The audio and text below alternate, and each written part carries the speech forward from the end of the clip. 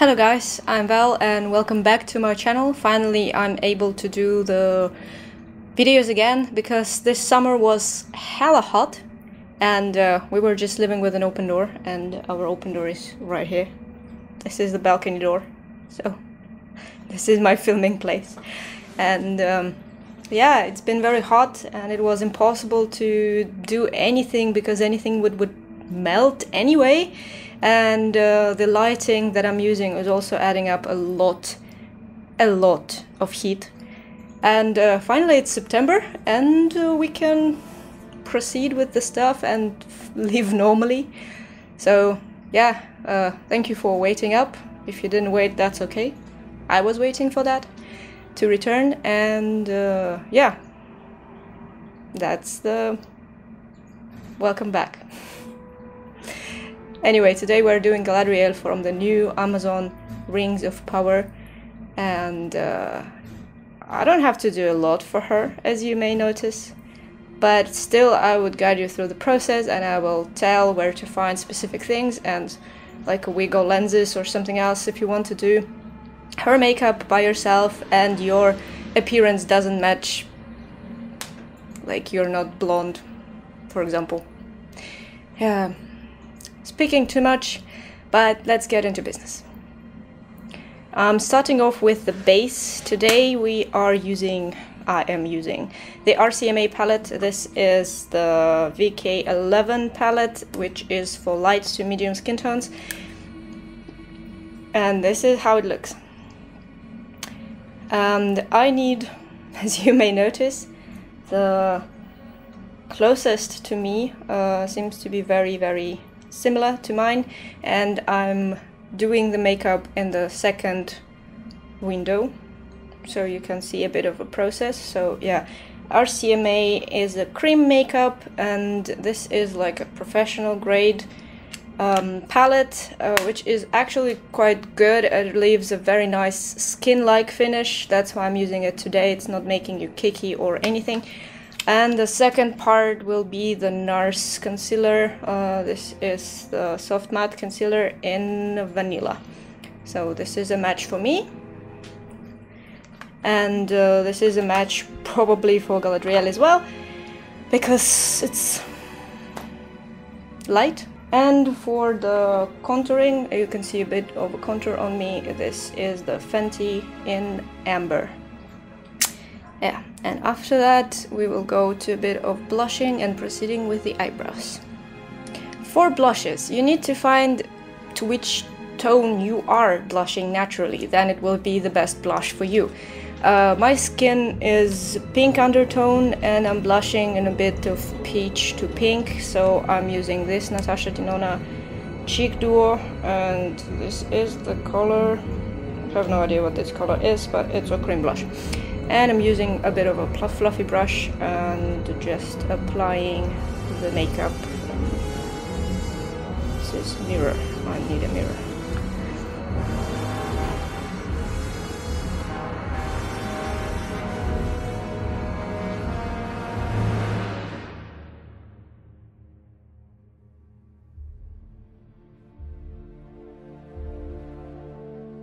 I'm not 100% sure about the freckles, if she has any, but in some of the pictures you can see a bit of freckling. And I think it's not gonna hurt to repeat a bit so for that I'm using a big stippling sponge. I lost the small one so I don't know where it is. And um, this is Mehron color wheel and this is actually brown color uh, right here. And I'm dabbing it first on my hand to remove the excess and then you can dab it on your own skin. And this is too much.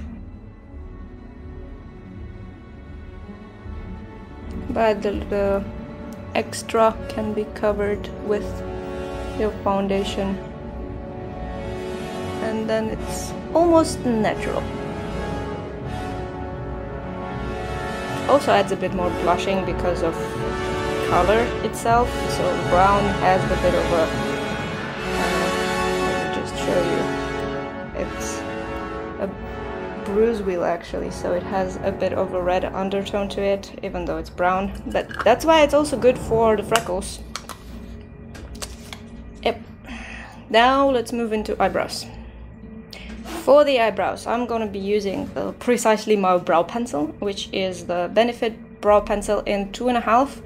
This is somewhat warm, somewhat not so warm, but good enough. Uh, she has straight brows, and generally elves, when you look at them, they have like um, straighter lines here. So part of my brows don't match, but I can try to bring it a bit up, and let's draw some eyebrows.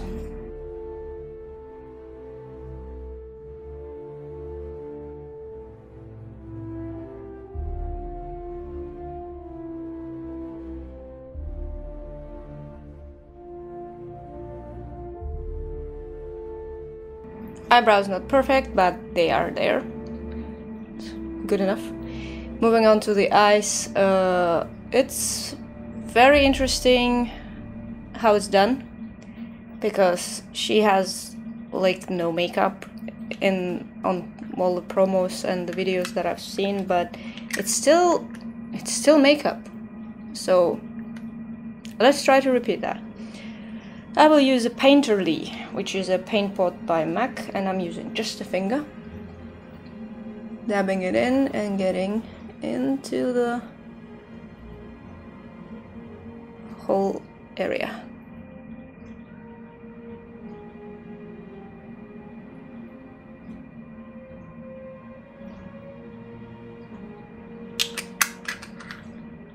Now we have a base and after that I'm going to use a bit of the Huda Light because Huda Light Nude because it has a very nice colors that are kind of similar to what you have in the eyes if you're blonde so this little pink one is going to be the good for the base and then um, near the lash line and just to give a bit of dimension we're going to use this one but this one has to be very, very blended, let's say.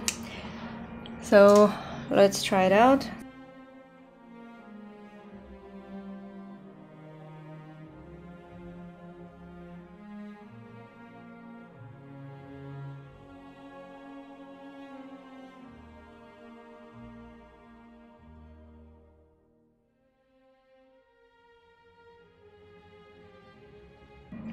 There are a few reasons for that. Specifically, uh, this type of colors, um, orangey, pinky, will make the blue eyes pop more. So you can see, maybe, maybe not, but anyway. Um, and the other reason is that uh, when you're not having any makeup, really, uh, your eyes still have a bit of color into them because the th skin is very thin in those areas and you have blood vessels and other things, and you know, this is just what it is. And the next step will be brown mascara. In my case, it's going to be a tinted primer rather than a mascara, but this is brown. Uh, blondes don't have very dark lashes, so the black is not going to fit. Also, we don't need the false lashes because Galadriel doesn't wear them, so you can just skip that part. And Let's apply some tinted mascara. This is the Real by Benefit.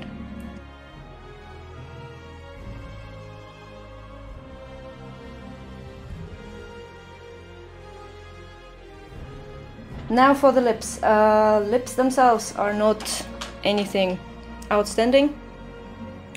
She has quite a small mouth, if you think about it. So I'm gonna use just the pencil.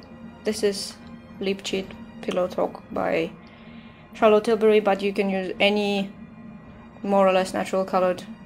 And we are not gonna overline the lips, more like opposite.